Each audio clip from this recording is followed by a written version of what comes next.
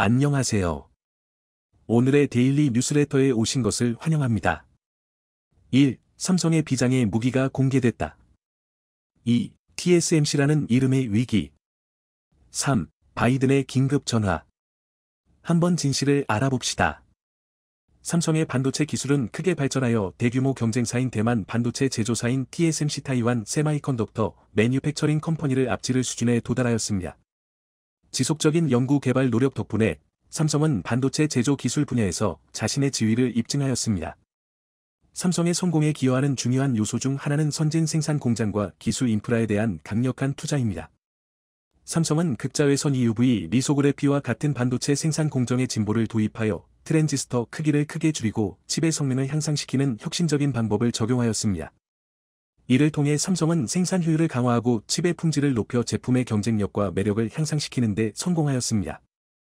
또한 삼성은 칩의 미세 구조 능력을 지속적으로 향상시켜 5나노미터, 4나노미터 등의 선진 세대에 적용하였으며 더 나아가 3나노미터와 같은 새로운 기술을 개발하고 있습니다. 이로 인해 칩의 성능이 향상되고 에너지 효율성이 증가하며 크기가 줄어들어 모바일 시장 및 기타 스마트 산업에 점점 더 높아지는 수요를 충족시킬 수 있게 되었습니다. 전 세계 반도체 수요가 높아지는 가운데 하지만 삼성이 이번에 신기술을 공개하며 TSMC마저 깜짝 놀라게 했습니다. 현재 삼성전자와 SK하이닉스는 HBM 즉 고대역폭 메모리 반도체 시장을 선점하기 위해 본격적인 경쟁을 벌이고 있습니다. HBM3을 먼저 양산한 SK하이닉스가 세계 최대 GPU 기업인 엔비디아를 고객사로 확보하며 시장을 선도하고 있지만 삼성전자가 오는 9월 HBM3를 양산하고 5세대 HBM 시제품을 만들어 고객사에 공급하면 삼성전자가 주도권을 잡을 가능성이 높습니다. 현재 두 회사는 암흑기를 걷고 있는 메모리 반도체 시장에서 HBM이라는 고성능 디램을 무기 삼아 실적 반등을 꾀하고 있는데요.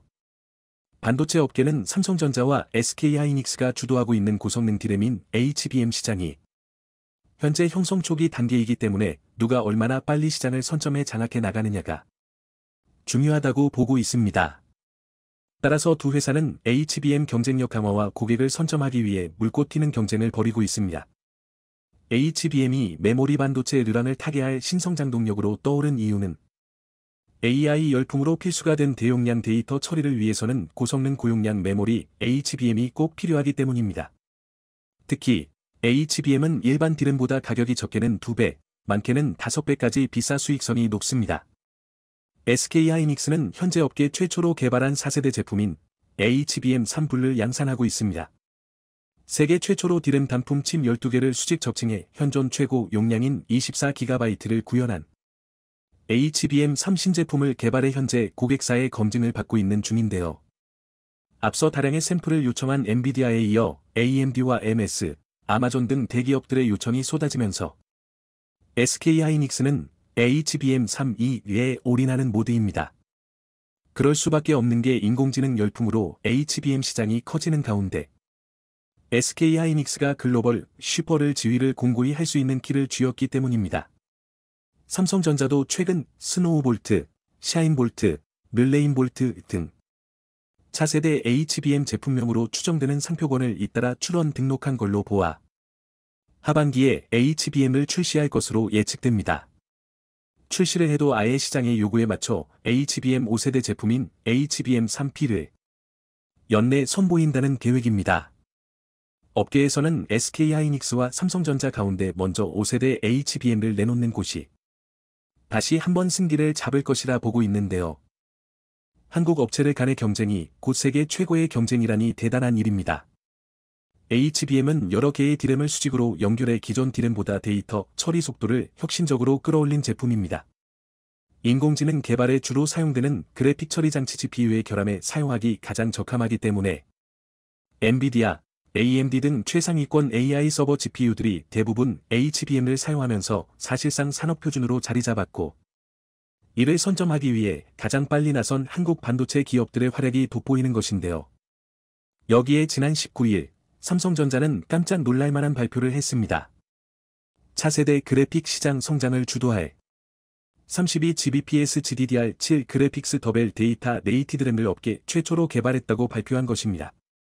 GDDR7 디램은 워크스테이션, PC, 노트북, 게임 콘솔 등은 물론 고성능 컴퓨팅 HPC, 인공지능 앱, 자율주행차 등 다양한 분야에서도 폭넓게 활용될 것으로 전망됩니다.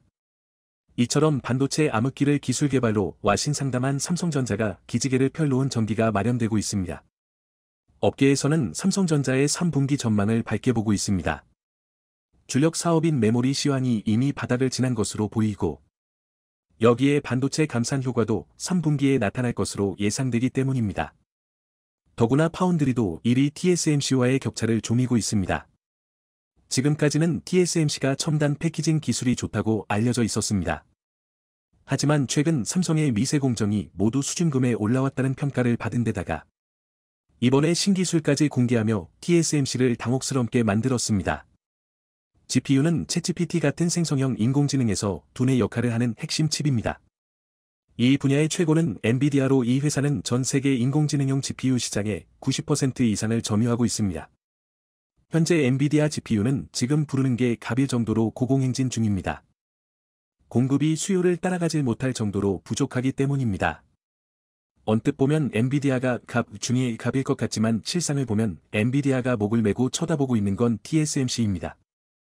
챗GPT용 GPU로 유명한 엔비디아의 대표 제품 A100, H100은 전량 TSMC가 제작하기 때문입니다. 결국 TSMC 앞에서는 엔비디아조차 을인 셈인데요. 엔비디아가 머리를 숙인 배경에는 TSMC가 자체 개발한 패키징 기술, CoWoS Chip on Wafer on Substrate 때문입니다. 많은 데이터를 빠르고 효율적으로 처리하는 AI용 칩은 기술적 난이도가 높아 첨단 패키징 기술이 뒷받침돼야 합니다. 반도체에서 패키징이란 쉽게 말해 칩을 포장하는 과정 전반을 말하는데요. 웨이퍼에 새겨진 반도체 회로를 메인보드와 연결하고 제품화하는 마무리 단계에 속해 후공정이라 불리기도 합니다. 최근엔 머리카락 굵기의 10만 분의 2 수준으로 제조 초미세 공정이 극한에 도달하면서 반도체 성능을 높이기 위한 대안으로 패키징 기술의 중요성이 더욱 강조되는 추세이고 이걸 잘하는 TSMC가 귀한 몸이 된 것입니다. 패키징 과정에서 칩들을 하나의 얇은 막 위에 입체적으로 쌓으면 칩 사이 거리가 가까워지는데 이는 전체 칩의 연결이 빨라지게 만드는 효과를 낳았고 최대 50% 이상의 엄청난 성능 향상으로 이어졌습니다. 칩을 어떻게 쌓아 포장하는지에 따라 성능 차이가 크게 벌어지게 된 것인데요.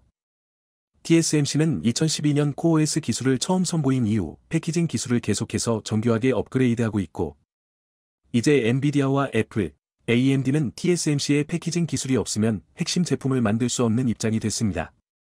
엔비디아 품절 대란이 만들어진 이유도 수많은 고객사가 TSMC의 패키징 라인을 원하면서 병목 현상이 생겨 엔비디아 제품 출하가 늦어졌기 때문입니다. 하지만 이런 TSMC의 독주와 갑질은 오래가지 않을 전망입니다. 최근 삼성전자가 칩의 성능을 한 차원 끌어올리는 고급 패키징 기술을 개발했기 때문입니다. 최근 삼성전자가 시스템 반도체에도 3D 적층 기술을 개발했다고 발표하자 세계의 이목이 다시 한번 삼성에 쏠렸습니다. 3D 적층은 반도체 회로 미세화 한계를 극복하고 성능을 끌어올릴 방법으로 주목받는 기술인데요. 삼성전자의 이번 발표는 메모리 반도체에서 적용하고 있는 적층 기술을 파운드리에도 적용하겠다는 뜻입니다. 이 기술은 메모리와 파운드리를 둘 다 잘하는 회사만이 할 수 있는 일을 하겠다는 것이기 때문에 반도체 업계가 깜짝 놀란 것인데요. 과거에도 삼성전자는 누구보다 빨리 EUV 장비에 적용해 기술 격차를 벌인 바 있습니다. 특히 3D 적층은 한국의 대표적 반도체 기업들 즉 삼성전자와 SK하이닉스가 잘하는 기술입니다. 더구나 TSMC도 아직 이 기술에는 경험이 없기 때문에 삼성이 이 기술을 파운드리에도 적용한다면 기술적 부분에서 TSMC와의 격차를 벌릴 수 있고 첨단 반도체 기술의 주도권을 확보하게 된 것이기 때문에 업계에 비상한 관심을 모은 것입니다. 여기에 그치지 않고 삼성은 현재 TSMC의 CoWoS를 뛰어넘기 위해 한층 발전된 개념의 I-큐브, X큐브 패키징 기술도 개발 중인 것으로 알려져 TSMC를 긴장시키고 있습니다. 삼성이 최근 메모리 반도체 D램과 파운드리 개발을 담당하는 책임자를 전격 교체하자 업계에서는 삼성이 지금이야말로 TSMC를 따라잡을 절호의 찬스라고 생각하고 있다고 전망했습니다. 승승장구하던 TSMC가 흔들리고 있다는 징후가 여러 곳에서 포착되고 있기 때문입니다. TSMC의 올 2분기 순이익이 4년 만에 처음으로 감소한 가운데 올해 예상 매출 감소폭은 10%로 늘어났고 미국 내 첫 반도체 공장인 애리조나 반도체 공장의 건설은 1년이나 늦춰질 예정입니다. 그런데 여기서 끝이 아닙니다. 페비스 즉 반도체 설계의 큰손 고객들인 AMD 등이 생산망 다변화를 꾀하면서 TSMC에만 의존하지 않고 삼성전자 파운드리에 일부 룰량을 넘길 가능성이 높아지고 있기 때문입니다. 그동안 TSMC는 애플을 비롯해 미국 AI 반도체 기업 엔비디아와 AMD, 월컴 등의 첨단 반도체 물량을 도맡아 생산해 왔습니다. 하지만 파운드리 시장 60%를 점유한 TSMC의 생산 능력이 수요를 따라가지 못하고 있는 데다 첨단 공정 파운드리 가격이 높게 책정되면서 글로벌 팹리스 기업들은 대체 생산처를 찾아 나서는 상황입니다. 그리고 그 최적지는 삼성전자입니다. 더구나 최근 양안 갈등이 격화되면서 TSMC의 지정학적 불안은 TSMC 고객사들을 늘어나게 하고 있습니다. 최근 중국판 인스타그램 샤오홍슈에 홀라온 중국 네티즌의 대만 수복시 장점에 대한 영상은 대만에서는 큰 논란이 되었습니다. 명상의 주요 내용은 중국이 대만을 수목하면 세계 판도를 뒤집을 수 있는 국제적 위험이 확립되어 외교적 약점은 사라지고 대만 해협의 경제 발전을 촉진할 수 있다는 것이었습니다. 그러면서 이 영상은 대만 수목은 수억 명의 중화 자녀의 공통된 염원이라고 덧붙여 대만인들을 자극했습니다. 이처럼 양안 갈등이 격화되고 TSMC의 지정학적 위치가 불안해지면 질수록 삼성전자의 위상은 더욱 올라가고 있습니다. 최근 삼성전자 파운드리는 수율 안정화를 통해 퀄컴으로부터 대규모 주문을 다시 따낼 가능성이 크다는 소식도 들려옵니다. 글로벌 IT 매체 익스트림 테크와 폰아레나 등 외신 보도를 종합하면 삼성전자는 3나노 파운드리 공정에서 60% 수율을 달성하며 안정화 궤도에 오르고 있어 퀄컴을 비롯한 빅테크 기업들을 고객으로 끌어들일 여건이 조성되고 있다는 관측이 나오고 있는데요. 폰아레나는 삼성전자가 경쟁사인 TSMC보다 3나노 공정에서 좋은 수율을 보이고 있고 신기술을 적용해 기술 측면에서 앞서가고 있다. 이런 기조를 유지해 나간다면 내년 말 발표될 퀄컴의 새 AP 스냅드래곤 8 4세대 제품 생산에서 TSMC와 경쟁할 수 있을 것이라고 전망했습니다. 그리고 벌써 빅테크 기업들은 움직이고 있습니다. 최근 AMD가 파운드리 생산에 있어 기존의 오랜 파트너였던 TSMC 대신 삼성전자와 손을 잡을 가능성이 높다는 보도가 이어지고 있기 때문입니다. 여기에 엔비디아와 퀄컴을 제쳤다는 평가를 받는 한국 토종 AI 반도체 스타트업의 반란까지 이어져 반도체 시장에서 한국 기업들의 위상을 더욱 높아지고 있습니다. 삼성이 TSMC를 따라 잡을 수 있는 것은 기술력 외는 없습니다. 그것도 비슷한 기술로는 TSMC의 고객이 움직이지 않습니다. 누구나가 인정할 만큼 압도적인 기술로 양산을 해야 그들을 몸직일 수 있습니다. 삼성은 5나노와 4나노 수몰의 문제로 기존 퀄컴과 엔비디아의 일부를 TSMC에 넘겨주었습니다.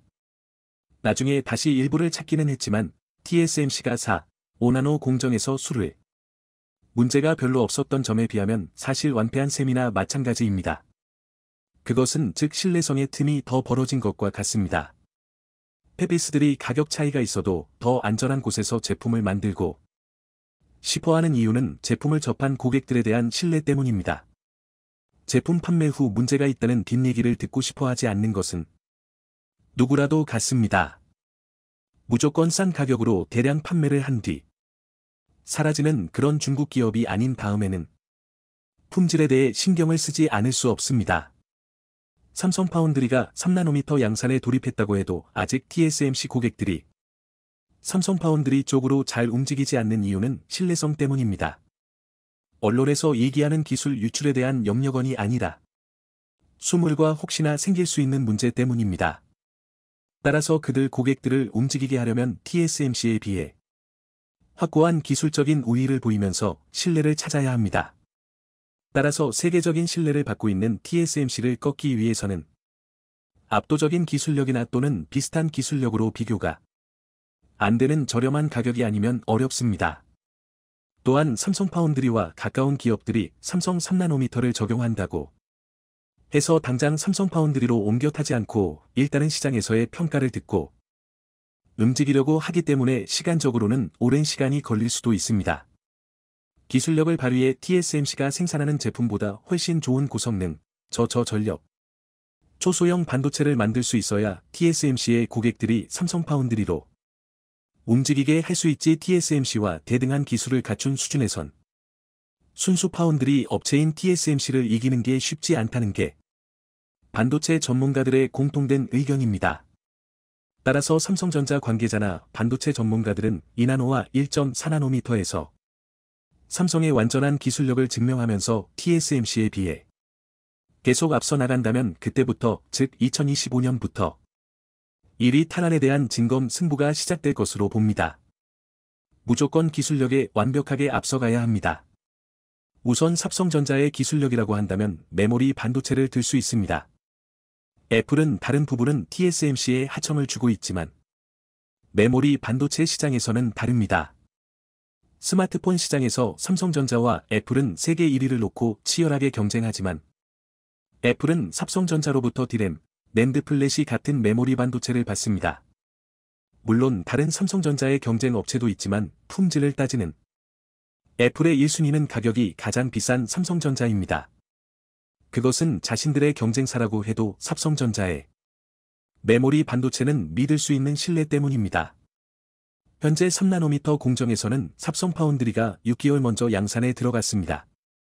조선은 어제 기사에서 TSMC가 3나노미터 양산에 돌입했다고 하는데 관련 근거가 없습니다. TSMC가 3나노미터 양산에 돌입하면 대만 언론에서 가만히 있을 리가 없습니다. 2020년 6월 반도체 업계에서의 화두는 3나노미터 공정 기술에서 GAA 게인 올 어라운드와 핀페핀의 PT의 차이였습니다. 당시 핀팩 구조는 5나노미터 공정까지 4나노미터 공정까지는 활용할 수 있다고 봤지만 3나노미터 공정부터는 힘들다고 판단하고 있었습니다. 그러나 삽성 파운드리와 달리 TSMC는 3나노급 공정에서도 누설 전류 문제를 감수하면서 GAA 대신 핀팩 구조를 적용시키면서 고전하고 있습니다. 그런데 이는 기술력 때문인 이유도 있지만 더 큰 이유는 애플, 퀄컴, AMD 등 초대형 고객사들로부터 3나노급 공정에 수요를 창출하기 위해 반도체 설계 비용 부담을 줄이려는 이유 때문으로 보인다고 세미콘덕터 엔지니어링은 지적했습니다. 실제 미세 공정 심화에 따라 반도체 설계 비용은 기하급수적으로 늘어나고 있고 따라서 엄청난 비용을 감수해야만 합니다. 시장 조사기관 IBS에 따르면 28나노급 반도체를 설계하는 데는 평균적으로 5,100만 달러가 투입됐지만 10나노급에서는 1억 7,400만 달러가 소요됐습니다. 그런데 7나노급은 3억 달러, 5나노급은 5억 3천만 달러가 필요했고 3나노급 공정으로 진입하면서부터는 반도체 설계에만 5억에서 15억 달러가 투입된 것으로 알려져 있습니다. 그런데 특히 핀팩과 비교해 구조가 상대적으로 복잡한 GAA 기반 반도체 설계 비용은 더 투입된 것으로 알려져 있는데 이런 비용 때문에 TSMC가 GAA 도입을 미루고 있다는 얘기입니다. 한편으로는 GAA 기반 반도체가 핀팩 기반 반도체보다 성능 면에서 당장은 큰 차이를 보이지 않을 것으로 예상되는 것도 TSMC가 GAA 도입을 미루는 이유로 들기도 합니다. 세미콘덕터 엔지니어링은 지난해 IBS 관계자를 인용해 3나노급 GAA는 3나노급 핀팩과 비교해 전력 소모가 15에서 20%가량 적은 장점이 있지만 반도체 노광 시각 증착 공정 MOL 및 금속 배선 공정 BOL이 동일하기 때문에 성능 차이는 8% 미만일 것이라고 바라봤습니다. 하지만 삼성전자는 지난 3월 전혀 다른 테스트 결과를 발표했습니다. 3나노급의 MBCFET 기반 반도체가 7나노급 핀팩 반도체와 비교해 소비 전력 50% 절감, 성능 30% 향상, 사용 공간 45% 감소 등 효과를 내고 있다고 발표하면서 시장 조사기관의 예측치인 8% 미만보다 훨씬 강한 성능을 입증했습니다. 삼성 발표대로라면 대단한 차이입니다. 또한 삼성전자는 3월 파운드리 포럼에서 더 진화된 무크피트를 발표하면서 이미 1나노미터 개발에 진보된 기술력을 보였습니다. 기술력에서 TSMC가 점차 떨어지는 듯한 양상을 보이고 있는 것입니다. 삼성전자는 3나노급 이하 공정으로 진입할 경우 GAA 공정은 필수적 단계로 어차피 핀팩 구조는 적용시킬 수 없기 때문에 시일을 끄는 것은 바람직하지 않다고 했습니다. 어차피 적용해야 하는 공정은 빠를수록 기술력도 높아지고 수을 안정화도 빨라진다는 논리를 세우고 있습니다. 자, 이것이 기술력의 경쟁이고 이제부터는 반도체의 정세로 들어갑니다. 아시다시피 TSMC는 일본 구마모토현에 총 1조 2천억 엔을 들여 생산 라인을 건설 중인데 이 중 일본 정부가 건설 비용의 40%를 지원합니다. 지난 4월 착공했고 내년 9월에 준공해 2024년 말부터 양산에 들어갈 계획입니다. 소니는 TSMC 공장 옆에 이 이미지 센서 생산 라인을 세워 TSMC에서 생산된 칩을 받아 옆 공장에서 바로 센서를 완성하려는 계획을 세우고 있습니다. 그런데 최근엔 TSMC 고리 관계자가 일본의 제2공장을 건설할 가능성을 내비추고 있습니다. 자. 그런데 이게 상당히 복잡합니다. 우선 처음에 이야기가 나왔던 것은 7나노, 5나노 같은 그런 첨단 반도체, 선단 advanced 공정 위주로 개발되는 반도체일 것이라고 일본 언론은 예상하면서 떠들썩했습니다.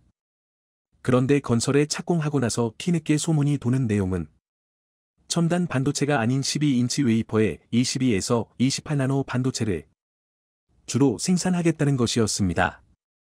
첨단이 아닌 자동차용이나 가전제품에 사용하는 기본적인 구형 반도체를 생산하겠다는 것입니다. 실제 지금 쇼티지가 나는 부분이 이쪽 부문이기도 합니다. 여기까지의 전말은 일본의 간절한 요구를 거절하기 힘든 대만 정부의 입장에 따라 일본 정부가 50%의 건설 자금을 대주는 조건으로 기본적인 22에서 28나노 반도체의 생산 공장을 건설한다는 것이 대체적인 소문이었습니다. 자동차 왕국인 일본이기 때문에 그런 수요가 절대적으로 필요하다고 판단하면서 좋은 기회라는 분석도 나왔기에 가능했을 겁니다. 제. 그런데 그 당시 미국에서는 한국과 대만을 압박하면서 반도체 기지를 미국에도 세워줄 것을 요청하고 나섰습니다. 미국 정부의 압박에 모리스 창 TSMC 창업자 등 TSMC 최고위 경영진은 대만 생산이 유리하기 때문에 굳이 미국에 공장을 지을 필요가 없다고 강력하게 반발했지만 강력했던 것만큼 고개를 숙이는 것도 빨랐습니다. TSMC가 대만이 유리하다고 한 것은 생산 단가 때문입니다. 아무리 기계적으로 찍어낸다고 해도 미국과 대만의 생산 단가는 다를 수밖에 없습니다. 여하튼 일본 정부의 간곡한 요청에 어쩔 수 없이 따랐고 미국의 요청에는 반발했던 TSMC였습니다. 그런데 최근 TSMC 고리 관계자가 일본의 제2공장을 그것도 첨단 반도체 공장을 세울 수도 있다는 말이 슬며시 나왔습니다. 그리고 미국에도 3나노미터의 첨단 반도체 공장을 세우겠다는 말이 동시에 나왔습니다. 결론적인 것은 앞으로 TSMC가 삽성 파운드리에게 패배할 수밖에 없는 것은 승부수를 잘못 두었기 때문입니다. 반도체의 세계 정세 분석이자 그 이유는 내일 계속 이어집니다. 결국 터질 것이 터져버렸습니다. 한국의 삼성뿐만 아니라 대만의 TSMC까지 미국서 투자를 철회하고 유럽에 올인할 수 있다는 충격적인 소식이 전해지면서 바이든이 비상사태를 선포했습니다. 삼성과 다시 협상을 하기 위해 난리가 났는데 이미 늦어버렸습니다. 유럽이 우리의 상상을 뛰어넘는 엄청난 것을 제시하면서 더 이상 미국의 공장을 지을 필요가 없어져 버렸는데요. 해마다 조단위 보조금을 약속하며 한국의 삼성과 SK, 대만의 TSMC 공장을 미국에 유치한 바이든. 그런데 수익이 나면 반도체 보조금을 미국 정부에 토해내야 하고 기밀 정보까지 내놓으라는 말도 안 되는 요구를 하면서 논란이 커지고 있는데요. 결국 유럽연합이 판도를 완전히 바꿔버렸습니다. 미국과 유럽연합은 세계에서 가장 강력한 FTA를 맺었기 때문에 유럽연합에서 생산되는 반도체에 대해서 미국은 그 어떠한 제재도 가할 수 없는데요. 유럽연합이 한국의 상상을 초월하는 너무나도 파격적인 제안을 하면서 지각 변동이 일어났습니다. 바이든의 한국 뒤통수치기를 의식했는지 유럽연합은 이번 기회를 놓치지 않고 한국의 삼성 반도체 공장을 유치하기 위해 칼을 빼들었습니다. 유럽연합 이후는 27개 회원국 담당 장관들이 반도체 생산 확대에 430억 유로 약 59조 원을 투자하는 EU 반도체법 치프스 액트에 합의했다고 밝혔습니다. 세드릭 나이케 지멘스 이사는 이와 관련해 독일 프랑크푸르터 알게 마이네차 이퉁 FAZ에 16나노 이하 반도체는 세계 시장에서 4%밖에 차지하지 않는다면서 반도체법이 중점을 둘 대상은 확대돼야 한다고 말했습니다. EU 회원국들은 자체 또는 위탁 생산하는 경우 모두 훨씬 더 많은 프로젝트가 지원을 받을 수 있도록 법안을 개정했습니다. 유럽연합의 반도체 지원 내용은 상상을 초월했습니다. 유럽연합은 삼성전자가 유럽에 반도체 공장을 지으면 투자 금액의 최대 40%를 지원한다는 파격적인 발표를 했습니다. 미국의 경우 최대 25%를 세액 공제해주는데 이마저도 나중에 수익이 나면 미국 정부에 반납하라고 했죠. 유럽연합은 이러한 더러운 조건들이 하나도 없습니다. 너무나 깔끔하게 투자 금액의 무려 40%를 지원해주겠다고 약속했습니다. 얼마 전 스페인 총리가 한국을 방문했을 때 산체스 총리는 한국에 오자마자 가장 먼저 한 일이 바로 삼성전자 평택 캠퍼스를 찾은 것입니다. 삼성전자에 따르면 산체스 총리는 레예스 마로토 산업통상관광부 장관 등 스페인 주요 부처 장차관 40여 명과 함께 이날 오전 11시께 평택 캠퍼스를 찾아 1시간가량 반도체 인라인 P1을 둘러봤습니다. 스페인 총리가 한국 내 삼성전자 사업장을 공식 방문한 것은 역사상 이번이 최초입니다. 그리고 결국 기적 같은 일이 일어났습니다. 22일 업계에 따르면 엘파이스 등 다수의 스페인 언론 매체는 산체스 총리가 한국을 떠난 직후인 18일현지 시간 소식통을 인용해 삼성전자 경영진이 팀을 꾸려 유럽을 방문했다며 그 가운데 스페인을 가장 먼저 찾았다고 보도했습니다. 엘파이스는 삼성전자가 스페인 공장 건설을 심각하게 고려하고 있다며 이를 심도 있게 연구하기 위해 팀을 꾸려 스페인을 방문한 것이라고 전했습니다. 그간 유럽 지역 직접 투자에 적극적이지 않던 삼성전자가 입장을 바꾼 것은 미중 갈등으로 글로벌 반도체 공급망 불안이 커진 데다 최근 바이든의 뒤통수에 신물이 난 것입니다. 미국이 한국보다 생산 비용도 25%나 더 비싸고 인력 효율성은 50%나 더 떨어지기 때문에 사실상 수십조 원의 보조금을 받아야 한국에 짓는 것과 똑같은 효과가 나는데 이마저도 다시 수익이 나면 토해내고 미국 정부에 기밀 정보를 모두 제출하라는 것은 터무니없는 요구라 판단한 것입니다. 유럽은 지원금 스케일이 다릅니다. 삼성이 만약 유럽에 50조 원을 투자하면 유럽연합은 삼성의 40%인 무려 20조 원을 지원해줍니다. 미국과는 비교도 되지 않을 정도로 엄청난 규모인데요. 그리고 스페인이 삼성에 이렇게 가장 적극적인 이유는 바로 관광산업에만 의존하던 스페인 경제를 완전히 탈바꿈하기 위해서였습니다. 그동안 관광업에 크게 의존해오던 스페인은 코로나19 팬데믹 전염병의 세계적인 대유행 장기화로 항공 노선과 여행 수요가 끊기면서 경제가 큰 타격을 입었습니다. 여기에 팬데믹이 전 세계 공급망에 부담을 가중시키면서 원자재 가격이 폭등하고 생산 차질이 빈번해졌습니다. 엎친 데 덮친 격으로 러시아의 우크라이나 침공으로 안보 불안까지 커지면서 향후 폭발적인 수요 증가가 예상되는 반도체 확보에 EU 차원에서 팔을 걷어붙였고 스페인도 산업구조 전환을 모색하게 된 것입니다. 독일도 한국의 삼성에 천문학적인 보조금을 약속했습니다. 프랑크 발터 슈타인마이어 독일 대통령까지 삼성전자 평택 캠퍼스를 사상 처음으로 방문했는데요.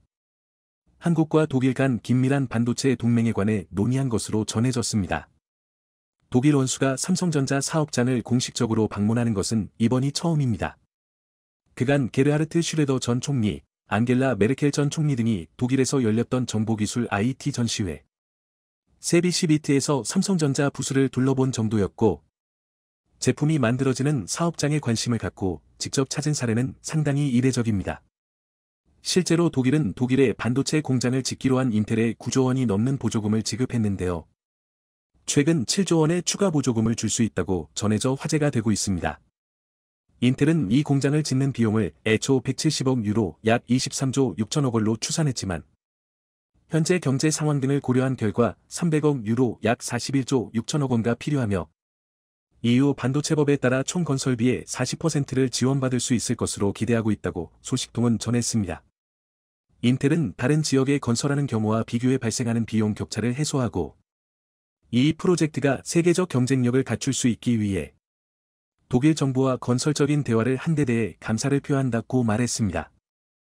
유럽연합은 유럽을 한국으로 도배하려 하고 있습니다. 이미 유럽에서 한국산 전기차 배터리의 점유율은 70%를 돌파했습니다. BMW, 아우디, 벤츠 등 독일 3사뿐 아니라 유럽 자동차 대부분이 한국산 배터리만 쓰고 있죠. 여기에 더해 한국의 삼성전자와 SK하이닉스가 유럽의 초대 규모 반도체 공장을 건설하게 되면 유럽은 사실상 미래 유럽 경제를 한국에 전적으로 의존하게 되는 것입니다. 바이든은 초비상이 걸렸습니다. 미국에 가장 많이 투자하기로 한 국가는 일본도 대만도 유럽도 아닌 바로 한국이었기 때문에 한국이 미국 내 투자를 취소하는 순간 최근 폭락하고 있는 바이든의 지지율은 바닥을 치게 될 것임이 분명하기 때문입니다. 이에 바이든은 최근 갑작스럽게 태도를 바꾸며 한국에 파격적인 제안을 했습니다. 중국이 한국에 경제 보복을 한다면 미국과 G7이 공동으로 중국에 대해 관세 인상을 하여 한국을 지켜주겠다는 것입니다. 미국은 중국이 한국의 지난 사드 보복 때처럼 한국 경제에 압력을 가할 경우 주요 7개국 G7이 함께 대중국 관세를 인상하는 등 대안 조치를 취할 것을 제안했다고 니온게이자이 신문 니케이 2일 보도했습니다.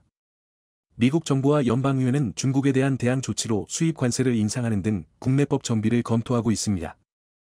미국 초당파 의원들이 제출한 법안에서는 중국이 특정한 국가에 대해 자국의 뜻을 관철하려고 경제적 위압을 가하는 경우 미국 대통령에게 여러 조치를 실행할 수 있는 권한을 부여합니다. 이 권한에는 관세 인상 조치에 더해 경제 압력을 받은 국가에 대한 자금이나 금융 지원도 포함됩니다. 중국의 제재로 입은 손실을 보전할 수 있도록 미국이 대상국의 관세를 인하해 수입량을 늘릴 수단도 마련한다고 전했습니다.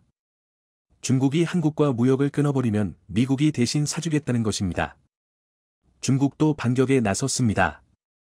미국의 압박이 거세지자 중국은 미국의 1위 메모리 반도체 회사인 마이크론에 대해 대대적인 조사를 실시하겠다며 마치 지난번 마이크론 제품 수입 전면 금지 조치를 연상시키게 하는 강력한 규제를 선포했습니다.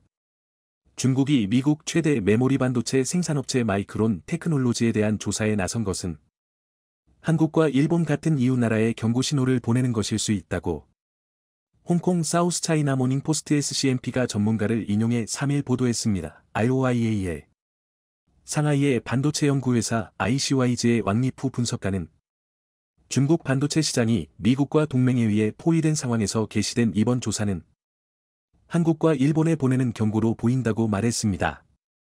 한국과 일본은 대만과 함께 미국이 중국을 반도체 공급망에서 배제하고자 주도하는 반도체 공급망 협의체 칩 4분의 1원으로 이들 나라의 고위 관리들은 지난 2월 첫 번째 화상회의를 개최했습니다.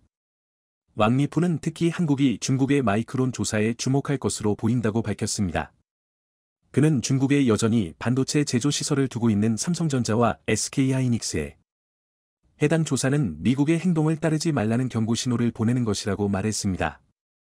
안보 심사 이유에 대해서는 핵심적인 정보 인프라의 공급망 안전을 보장하고 잠재된 제품의 문제가 인터넷 안보 위험을 일으키는 것을 예방해 국가 안보를 보호하기 위한 것이라고 설명했습니다. 중국이 외국 반도체 회사에 대해 사이버 안보 심사를 하는 것은 처음입니다. 마이크론에 대한 조사를 발표하기 전까지 중국은 미국이 국가 안보를 이유로 대중국 첨단 반도체 수출 규제를 시행한 것에 대해 별다른 반격을 가하지 않았습니다. 중국 정부는 마이크론이 자국 기술 산업에서 부정적인 역할을 하고 있다고 여긴다고 왕리푸는 말했습니다. 그는 마이크론이 미국 정부의 대중 제재 부과를 뒤에서 밀어붙였다는 의혹이 있다고 전했습니다. 조 바이든 미국 대통령이 지난해 8월 자국 반도체 산업 육성을 위해 만든 반도체 칩과 과학법, 반도체법에 서명한 이래 마이크론은 다른 몇몇 미국 반도체 회사들과 함께 로비 자금 지출을 늘린 것으로 알려졌다고 SCMP는 전했습니다.